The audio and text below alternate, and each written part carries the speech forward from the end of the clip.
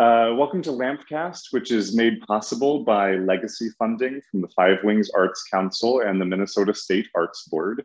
Today's lecture, which is called Supporting the Arts, is connected to the Lakes Area Music Festival's Spring Strings concert, which is going to take place on August 7th and 8th. And now it's my pleasure to introduce our LAMFcast host, and uh, artistic advisor of the Lakes Area Music Festival, Garrett McQueen. Thanks, Garrett.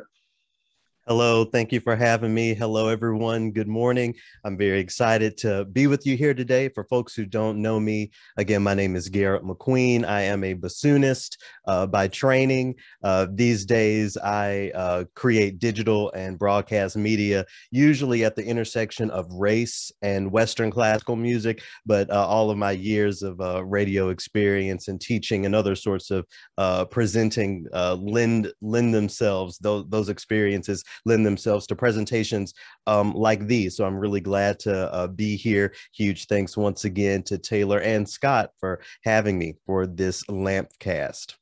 I'll go ahead and share my screen here and we will get the presentation started.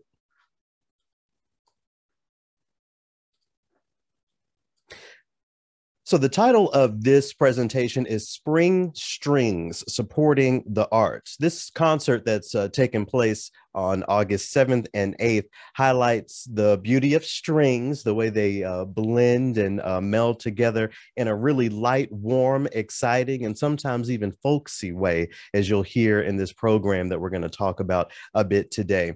Uh, when I looked at this program, uh, I wanted to go a little bit deeper than just celebrating strings or the sound of spring. Uh, one of the things I found really interesting was that each composer on this program had a unique relationship relationship with financial support, being supported by individuals, uh, organizations, in some cases, even government bodies. So that's some of the things that uh, we're going to look at today. We're going to look at how the composers on this program uh, dealt with the issue of support, how it impacted their music, and ultimately their legacies as composers. We're going to listen to a little bit of each of the compositions on the program, uh, learn about the composers themselves, and even learn about uh, some folks who were on the peripheral of the of the story and the uh, careers of these composers.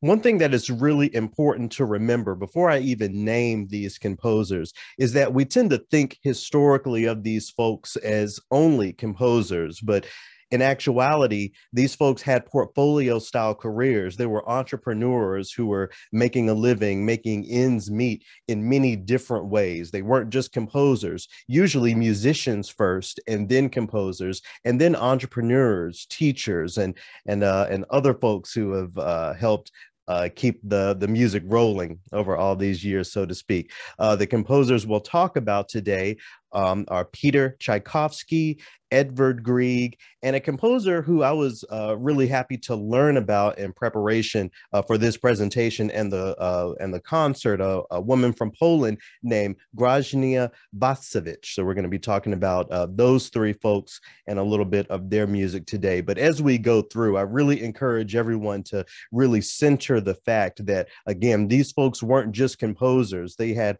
real life bills, real life uh, challenges, real life successes that all relied on the support from folks who valued uh, their uh, valued them as artists and valued their art itself as something meaning, meaningful and something that is classic to the human experience.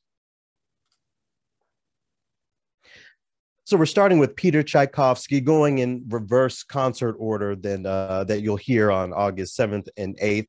Uh, Peter Tchaikovsky, I, I, picked out uh, an interesting quote. Inspiration is a guest that does not willingly visit the lazy. I, I found that really interesting because with uh, the more you read about Tchaikovsky, the more you'll see that he really was a go-getter. He wasn't someone who was laying around every day waiting for a commission, waiting for someone to give him some money to continue his work. He was uh, very uh, vivacious throughout his career, as the uh, stories and uh, historical facts tell.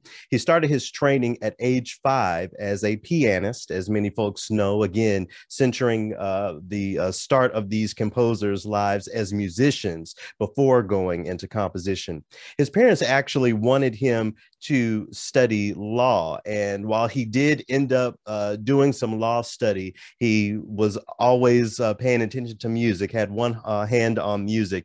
And, you know, of course, as uh, history tells, it's music that he focused on and not law, despite his uh, parents' wishes. Me being a musician, a composer, wasn't seen as something uh, very notable back in those days, maybe something not very stable. But, um, you know, he, Tchaikovsky is uh, similar to many composers in that he didn't follow his parents' wishes in that regard.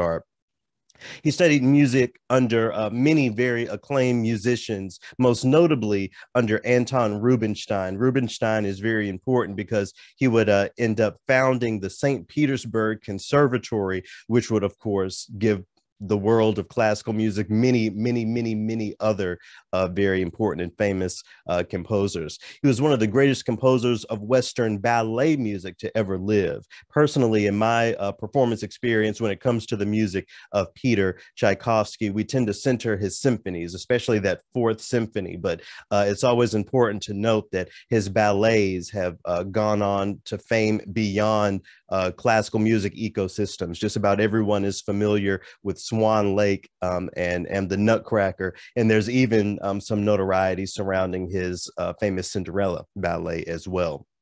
One thing that we always talk about and bring up when we uh, discuss Peter Tchaikovsky is that he's noted as one of history's more impactful queer composers. When I give presentations um, at the intersection of race and classical music, I often speak to uh, race not being something arbitrary, how it has an actual impact on the music itself. Well, this also uh, relates to Tchaikovsky uh, when it comes to his sexuality. Uh, back in those days, in the late 19th century, as you know, everyone uh, knows and can imagine, it wasn't very safe for um, a man to be gay, for a man to uh, uh, uh, affirm himself uh, as a member of the queer community. And this came out in the sound of much of his music, especially his Sixth Symphony. If you're familiar with it, symphonies typically end with loud, fast, bombastic movements. Well, his final symphonic movement is actually very slow and solemn, and it speaks to the, the hardships that um, he uh, faced in that regard. A very important uh, fact to really understand about uh, Tchaikovsky's uh, legacy. And his death, um, as I uh, have been reading these past couple weeks um, is still rel- relatively mysterious. He died of cholera. He uh, he drank some um, um, some water that wasn't sanitized, and um, he died uh, sometime later. Some say this was actually um, a death by suicide, due in part to um, his struggles during that time with his sexuality and and, and some other things that were going on uh, in his life. So as we move forward, I think that we really have to um, always remember not only his music and his legacy, but uh, the the very important sacrifices he made living his life um, in the way he wished to back in the late 19th century. Now, the name Peter Tchaikovsky may not be one that we would know if it wasn't for the woman who's pictured on your screen here, a woman named Nadezhda Filaretovna von Meck or Nadezhda von Meck, as she's uh, often known. Uh, interesting couple of quotes from her. She was quoted once as saying, I shall tell you that I am an irreconcilable enemy of marriages. I, I included that quote because uh, Nadezhda von Meck in her day was not only a woman with a lot of means, with access to a lot of money, but she really was a mover and shaker in, in many ways, a, a sort of uh, progressive who really believed in um, the rights of, of women and making sure that um, women had a say uh, in their lives, especially when it comes to uh, marriage. Uh, the second quote I chose from her here the distribution of rights and obligations as determined by social laws, I find speculative and immoral. And this would really um, uh, come to fruition as it applies to the life of Tchaikovsky later on um, in their relationship, which I'll get to here in a bit. Nadezhda von Meck allowed her daughters to choose their husbands, which was again very, very um, different for those days. There was even a point to where uh, one of her daughters uh, caught the eye of Claude Debussy and understanding his legacy as a composer and a musician. Um, even back uh, in those days, it would have been the easy choice for many mothers to give away uh, their daughters, but Nadezhda von Meck was uh, different in that regard and actually did not allow um, her daughter uh, to marry the late uh, Claude Debussy. Nadezhda von Meck was a self-proclaimed atheist um, who, you know, fought against even the religious norms of the day. Um, and through all of that, excuse me, she was a lover and supporter of the arts, music in particular. She paid Tchaikovsky a handsome salary after they met, actually about 6,000 rubles a year, which translated today is about $80,000. So it, it wasn't something to, to sleep on. It was, it was very, very um, important to Nadezhda von Meck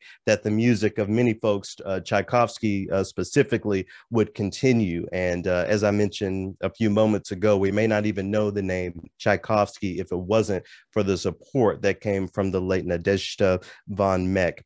Uh, they actually had a sort of awkward relationship, Meck and Tchaikovsky. Uh, he agreed, Tchaikovsky agreed to um, accept uh, her patronage as long as the two never met.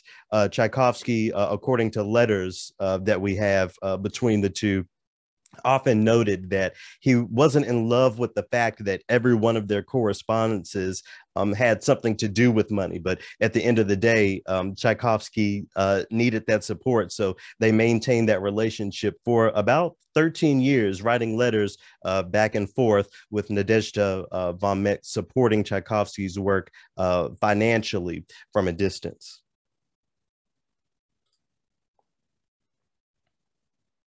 So the composition um, that is on the Spring Strings program for um, later, uh, early next month, is uh, the Souvenir of Florence. This is Tchaikovsky's only string sextet. So around this time in the late uh, 19th century, lots of folks were experimenting with chamber music uh, configurations beyond the traditional string quartet. So Tchaikovsky chose to make a six part composition and it ended up uh, being his only one, but one of his uh, more celebrated works in his entire repertoire, especially if you center in on his chamber music. Tchaikovsky dedicated this piece of music to uh, the St. Petersburg Chamber Music Society. One note about Russian chamber music societies, there were sort of like um, clubs, almost like salons, where uh, composers would get that moral support. They would get the um, attention uh, that they were all searching for from the masses. And, you know, after um, being accepted by the St. Petersburg Chamber Music Society and all of his gratitude, Tchaikovsky uh, decided to write this piece of music and thanks to them.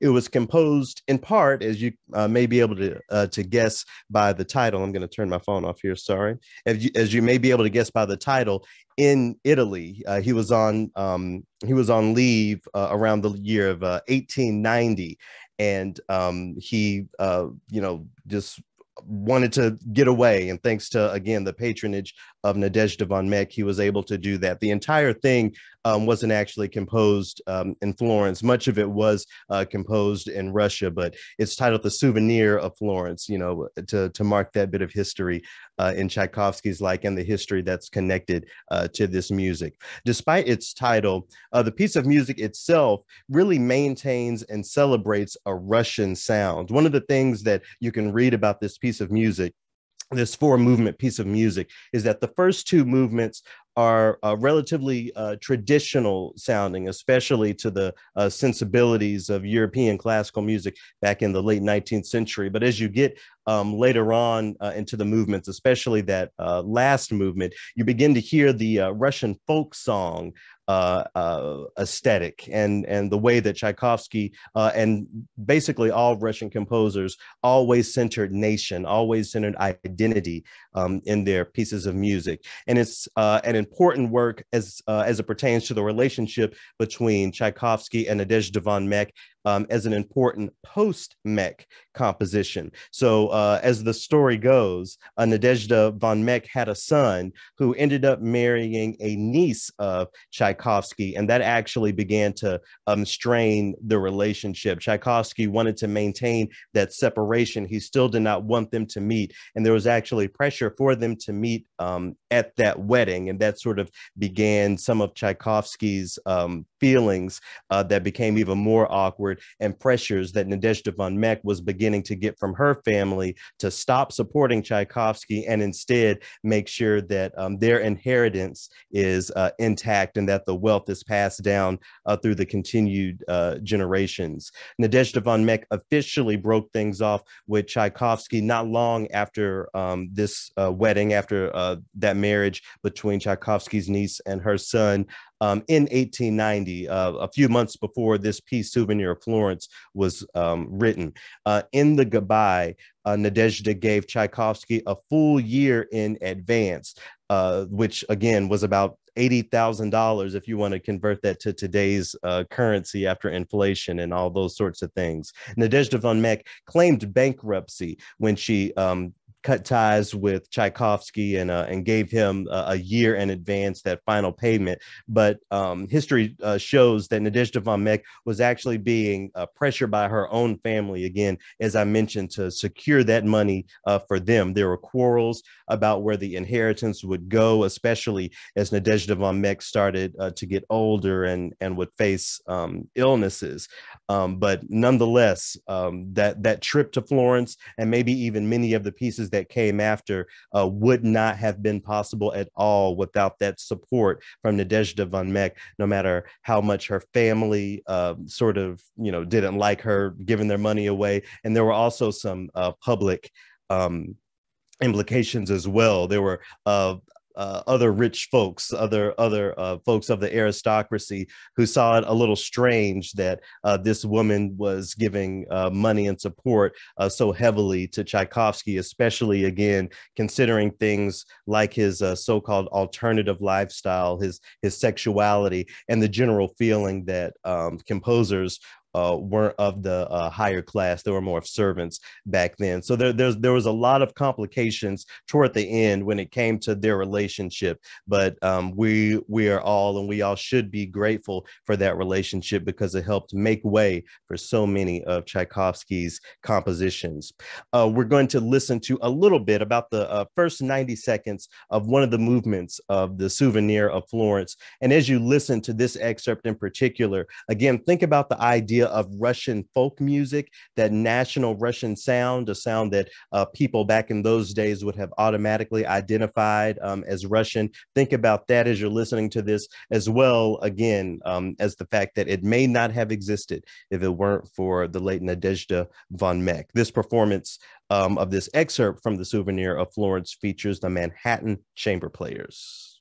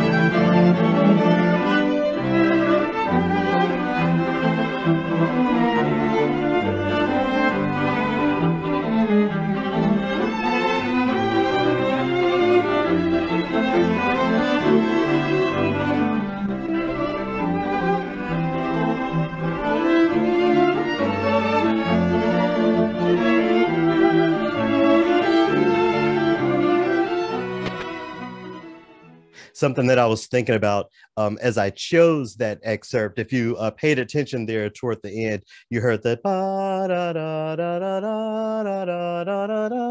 Tchaikovsky was known for borrowing from himself. So I mentioned uh, ballet earlier. That's a melody that um, you can hear quite prominently in um, Swan Lake. So uh, again, just another example of there about how Tchaikovsky was always centering that Russian sensibility, even his own sensibility as a composer.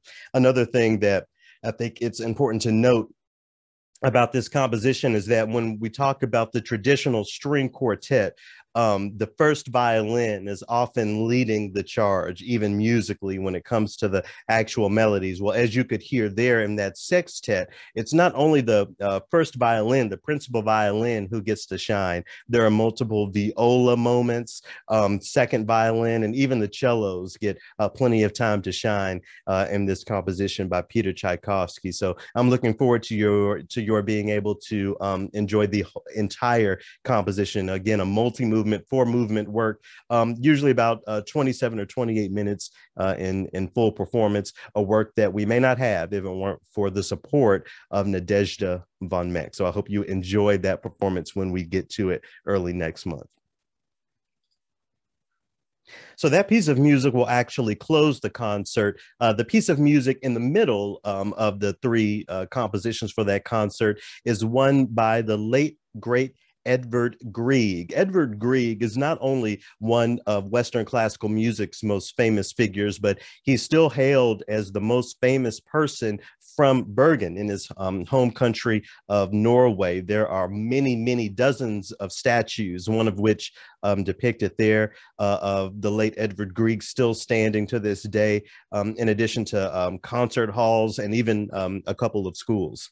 Edvard Grieg helped codify Norway's classical voice on a global scale. So as we uh, were getting toward the end of the um, 19th century and creeping into the uh, 20th century, the idea of codifying a national voice in this art form was becoming more and more popular globally. If you joined uh, me here last week, you may uh, remember that I uh, spoke about uh, Antonin Dvorak and um, his relationship with um, codifying um, an American sound, um, with, with the help again of a of a woman named Jeannette Thurber, her support. So um, th- this was happening all over the globe. Folks were really looking to Russia as uh, a great example of what that looked like musically. Um, again, uh, in the music of Tchaikovsky, um, most famously by a group of composers known as the Mighty Handful or of the Five. Well, um, Edvard Grieg um, led the way in many ways in doing that for Norway in the same way, again, as Dvorak did for the United States, as uh, Jean Sibelius did, um, for uh, example, in, in Finland, and eventually uh, folks like William Grant Still and Florence Price, who codified uh, the Afro-American sound. So very important to note um, Grieg's role in, again, codifying that Norwegian sound on a global stage uh, Edvard Grieg actually met uh, Peter Tchaikovsky in 1888, and they both had lots of mutual respect for one another. Grieg had, of course, heard of Tchaikovsky. Tchaikovsky um, was just learning about Edvard Grieg, and um, in the accounts that uh, we have uh, from that meeting, they both uh, highly respected each other and each other's music the last thing that Edward Grieg said um, was, well, if it must be so. He passed away in 1907 um, after a very uh, successful career, um, after a very successful latter years um, of his life and uh, he impacted the Western classical genre significantly with many works, including his uh, famous Peer Gynt, the incidental music he wrote for a play called Peer Gynt. There are actually two suites. We're used to hearing, uh, I believe, the first of those suites, which ends with uh, In the Hall of the Mountain King. But if you're ever looking to dive a little deeper into Edvard Grieg, I would encourage you to check out his Peer Gynt suite number two. Again, music taken from uh, a score of incidental music music that he wrote for a play, um, also titled Peer Gynt. Support for the individual um, often manifests as support for the arts. Um, a, uh, a quote again here from Grieg is I must admit that I left the Leipzig Conservatory just as stupid as I entered it. Naturally, I did learn something there, but my individuality was still a closed book to me. I, I chose that quote to bring in because from the very beginning, Edvard Grieg had the spirit and the attitude of an artist someone who who didn't believe in really coloring within the lines being within the box and that attitude that creativity would actually uh, lead to grieg um, earning broad, broad, broad support from not only individuals, but um, even his very government. He had his solo debut uh, shortly before graduating from the Leipzig Conservatory in um, 1861. And in this performance, he not only showcased his ability to move the genre forward, but he honored the greats. That concert famously included works by Beethoven um, Grieg's composition um, career became more um, important, a more important part of his portfolio beginning around the 1870s. After um, leaving school, he traveled as a uh, solo pianist, and much of the money that he earned um, that gave him the ability to write music came from uh, those days, came from those uh, touring concerts. He maintained a solo and orchestral career um, through all of those years, uh, which led him all the way to Windsor Castle in the year of 1897. I believe it was Queen Victoria's court um, for whom uh, he and his wife performed uh, back in the late 19th century. Grieg earned a government pension um, from uh, from his uh, from his home country of Norway. Um, he received honorary doctorate degrees from multiple Norwegian institutions. And he even rec- uh, created a few recordings uh, in the early 20th century, recordings that actually uh, still exist in CD and now uh, digital form. So uh, not only um, the support manifesting um, into Grieg's really pumping music into the classical repertoire, but also helping form the beginnings of the tradition of recording this Western classical music and making sure that it's available virtually forever for the future generations to enjoy. And um, his home, known as Troldhaugen, um, is a national monument to this day. And there are a couple of, of photos of um, the, the home of the late Grieg um, and his wife. Again, um, accolades and uh, physical material things that would not have been possible at all if it wasn't for the type of support that he received. So unlike Tchaikovsky, it wasn't so much um, individual support from uh, one rich patron, but it was uh, Grieg's uh, portfolio style career and his dedication to being his own artist, his own musician that really earned him that uh, broad appeal in an, in an official way, all the way up to receiving a government pension as a composer of Norwegian classical music. So the piece of music that um, is on the concert on this August 7th and 8th concert by Edvard Grieg, um, it actually comes from a slightly larger work called Two Elegiac Melodies. So uh, these two pieces, uh, the arrangements of these two pieces rather, were completed uh, in 1880 and they were published the following year in 1881. Now these two movements um, that make up uh, this larger piece is actually the instrumental arrangement of 12 melodies this is Opus 33 that honors Norwegian songs and uh, culture uh, with lyrics to those songs uh, written by uh, the poet there, Mr. Vinje. I, I think it's important to note again this Norwegian song um, foundation of this piece of music because again as i mentioned that idea of codifying a national sound was becoming more and more popular um, in those days. And understanding uh, grieg's respect and love for tchaikovsky for example and the way that he always honored home was something that uh, grieg did in his own way by writing those 12 songs. They were originally for voice and piano with uh, the two elegiac melodies uh, uh, arranged for um, strings arranged for orchestra uh, coming later.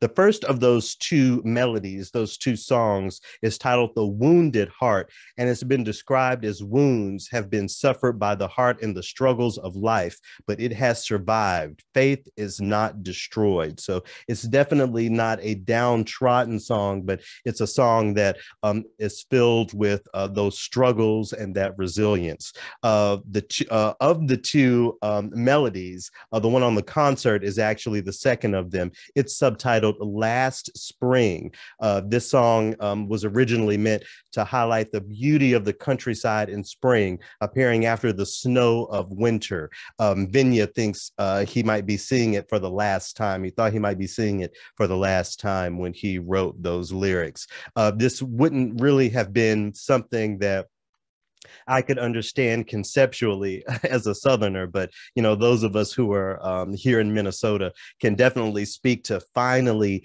coming to spring after those long winters. And I think that's a, a, really great way to uh, make a, a local uh, connection with this piece of music as you're listening to it. You know, on a um, on a very uh, personal note, uh, this uh, the second of these two melodies, "Last Spring," um, is a tune that I used to listen to all the time as a very young musician. That I would try to recreate uh, on my own instruments. That's the case for many beginners. So Edvard Grieg not only codifying a Norwegian Norwegian sound and uh, pumping some really important and very famous music into the broader classical repertoire, but even um, in death, having a role in the way musicians begin their journeys as classical musicians, music uh, that would not exist, at least uh, in the way that it does today, if it weren't for that support specifically from the Norwegian government. So we're going to listen to about the first 90 seconds of Last Spring. This performance features the Taiwan Connection connection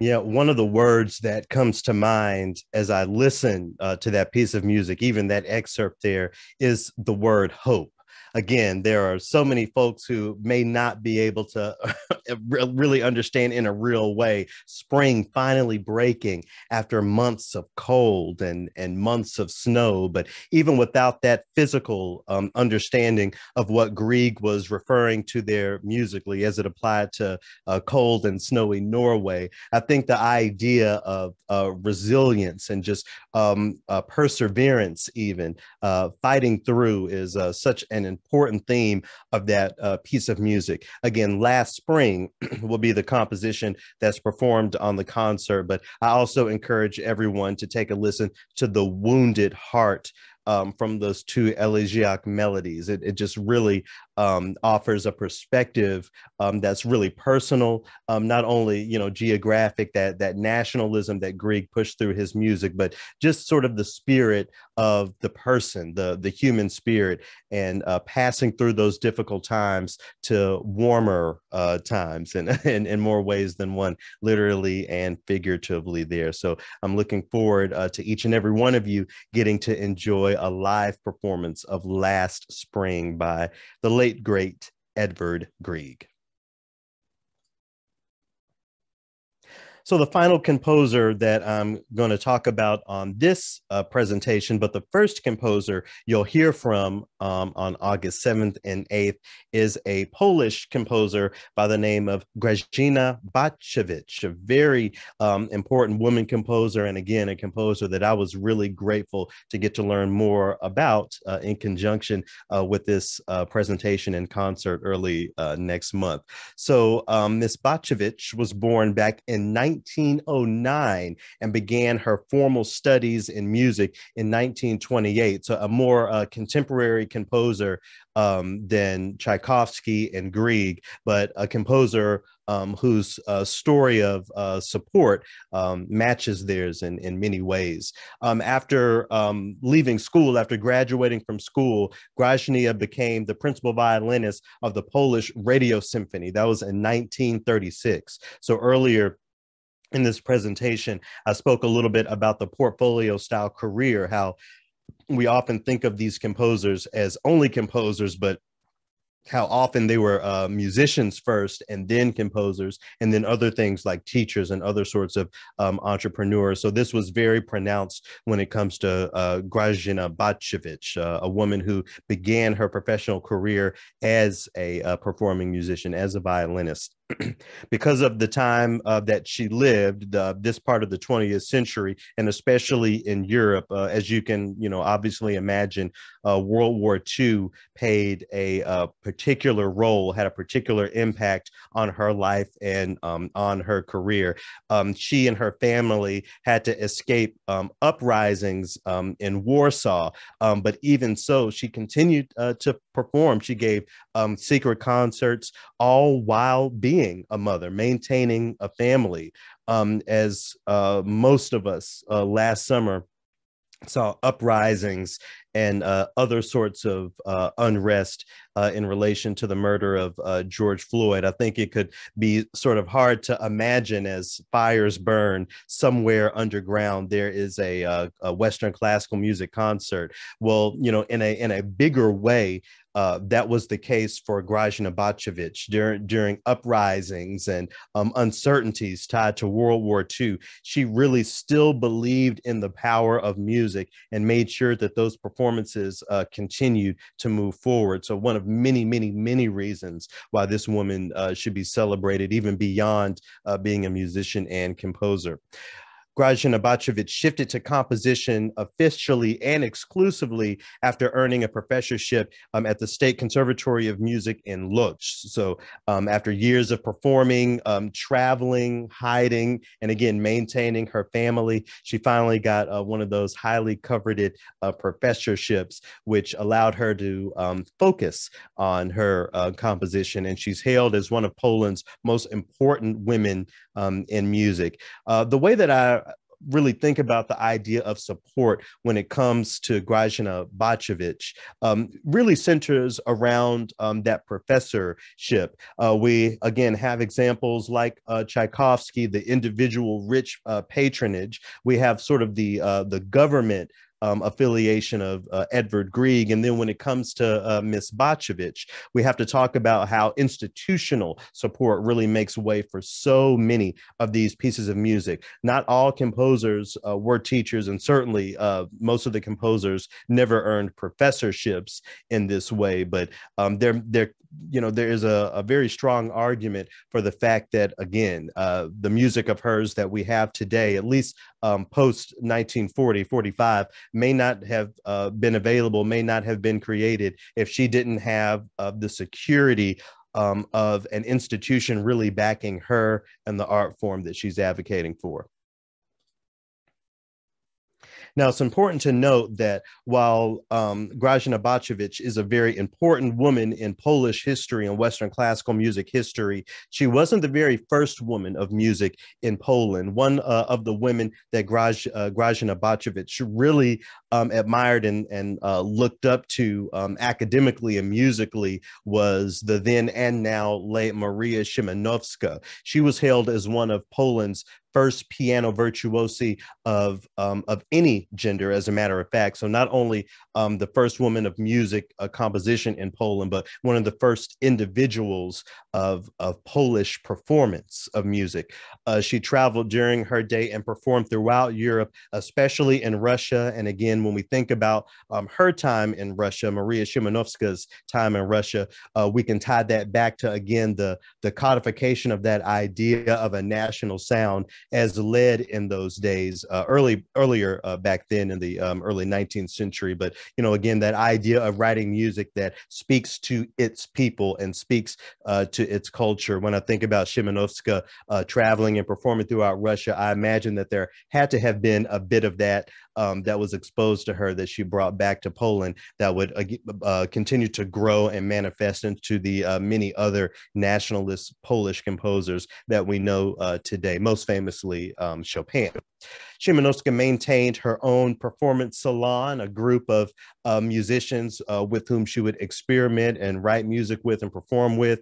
Uh, she taught music uh, formally, which was uh, still uh, considerably rare, relatively rare in those days for a woman. And she even ended up getting recognition from the royal court. So she really did um, rise the ranks despite all of the challenges that she faced back in those days. Um, is another figure worth celebrating and honoring um, in contemporary settings because of all of these things. And again, she was a huge influence uh, to the music of uh, Miss Bacewicz. So uh, an important name to know when you consider and listen to the music of Grażyna Bacewicz, the late great Maria Szymanowska.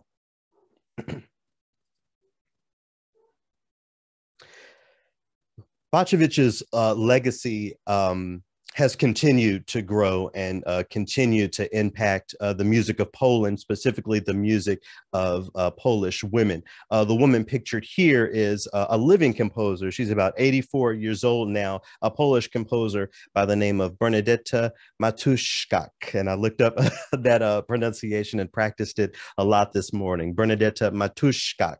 She was quoted as saying, in Poland, Grażyna opened the way for women composers. It was difficult for her her, but with her great talent, she won. She became famous. Afterwards, we had an open path, and nobody was surprised. My God, a woman composer again? Bacewicz had already been there, so the next one also had a right to exist. Um, Matuszczak uh, gave this quote decades, decades ago, I, I believe back in the um, 80s, 80s or 90s. And as we continue to talk about diversity and programming these days, not only racial diversity, but gender diversity, it's so important to note all of these really important women. When we really center in on Poland, again, we have Szymanowska, we have uh, we have Matuszczak, and there are so many others. So um, when you're thinking about programming and you're thinking about um, diversity when it comes to even just your listening and who you offer support to.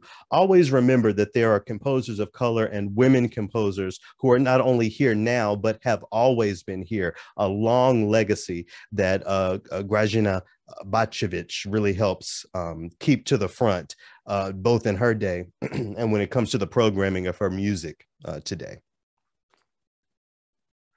Some of the uh, latter accolades by Grażyna Bacewicz is in 1956, she won the second prize at the International Composition Competition um, with her fifth uh, string quartet. In 1960, um, she won um, uh, uh, a prize in Paris that continued in 1965, and she uh, received several Lifetime Achievement Awards over her career. So um, while um, her name and her legacy tends to be centered in um, in Poland and, uh, and, maybe even in Europe.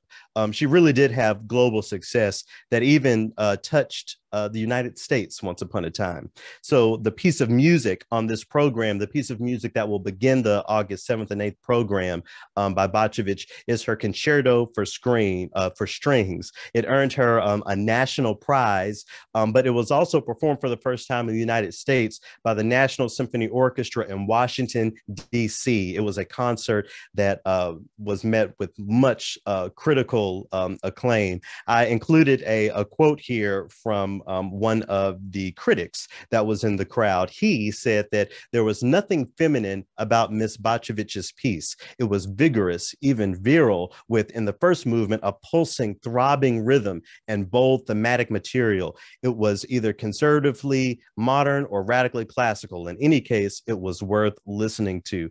I included this quote because, again, when we talk about the um, the the unique challenges and struggles that women composer had and continue to have, it even um, is quite uh, apparent and telling in this um, in this critique in, in this review.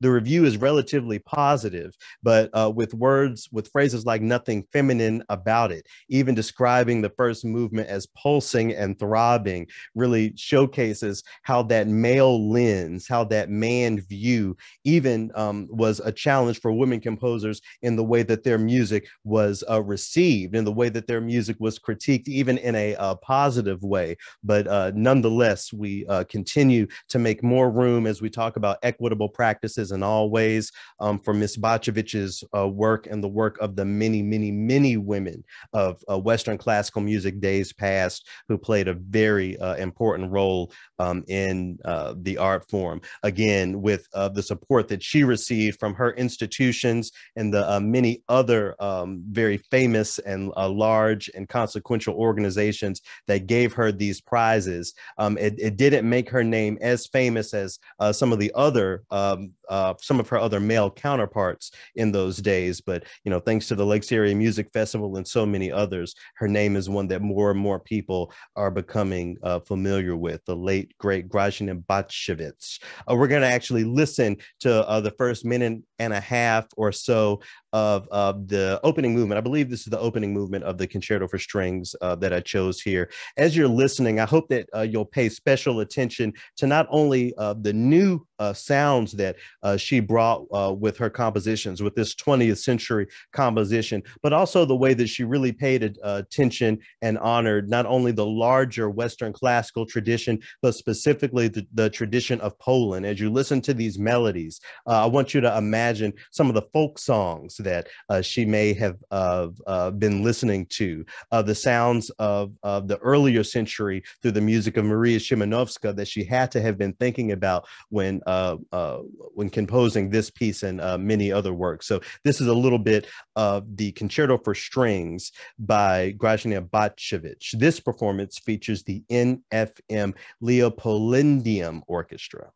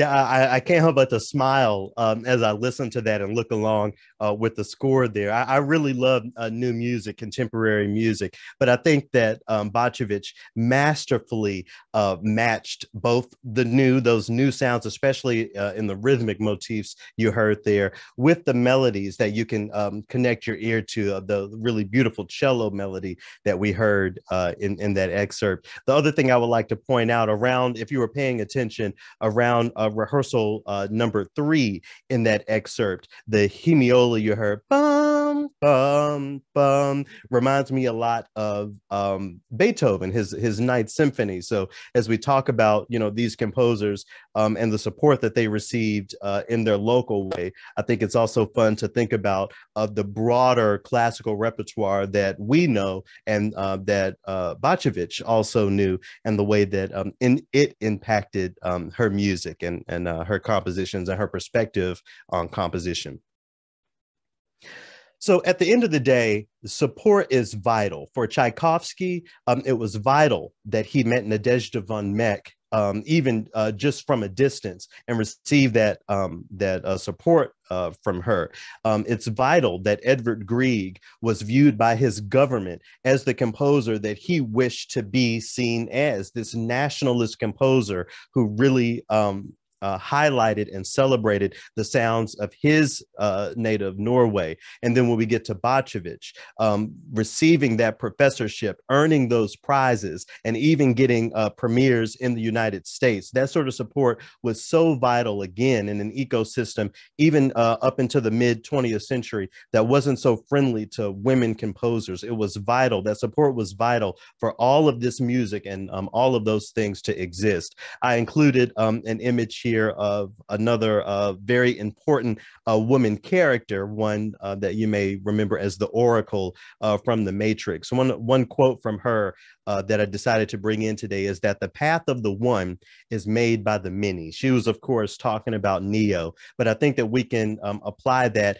uh, to composers, to musicians, and even to compositions. The path, the survival of all of these things, all of these individual bits of art, all of these stories, all of these people. Uh, it's made possible by each and every one of us, not only by listening and advocating for this music, but really putting our resources forward just just as so many people have before us. The composers are counting on us. The art form itself is counting on us. And the Lakes Area Music Festival is counting on you. Be a part of the tradition of supporting the survival of Western classical music, as we've seen in context of this concert and even beyond, by uh, making sure that you are offering your financial support in every way you can. We want the Lakes Area Music Festival to be among the many stories as we move move forward in history uh, that tells uh, the tale of how impactful um, individual um, and uh, organizational institution uh, institutional support is and can be to um, Western classical music. So that does it for um, that part, the formal part of the presentation. If you have um, any questions or uh, comments, uh, feel free to uh, put those uh, in the chat here.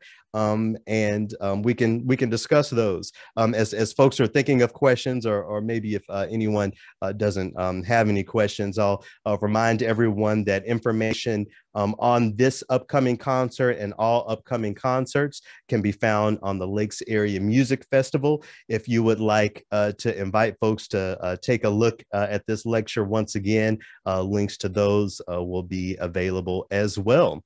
Um, I'll, I'll, wait a, a, couple minutes here uh, for a, a, question or two um, from the audience.